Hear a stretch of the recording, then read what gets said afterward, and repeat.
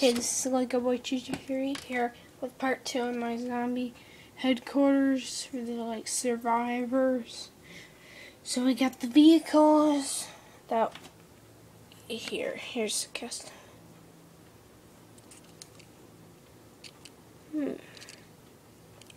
It's um some uh, bike with a machine gun. So it kind of made it look like a military underground base, so that's why he's there. Then there's Jules. Ooh, ooh, cool. Okay, so this is another new thing.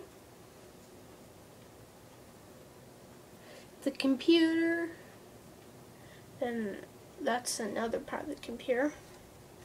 Then we have like a coffee machine, 100 bucks, and a pizza.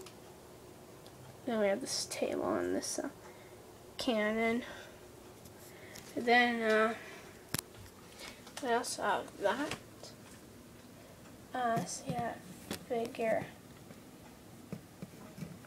Man, I'm probably just gonna have to do it this way.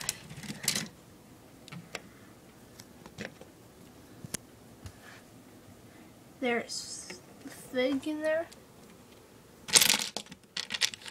So this, the cannon boxes and there's foam I'll probably make a part three if I change it more. so, uh, bye guys.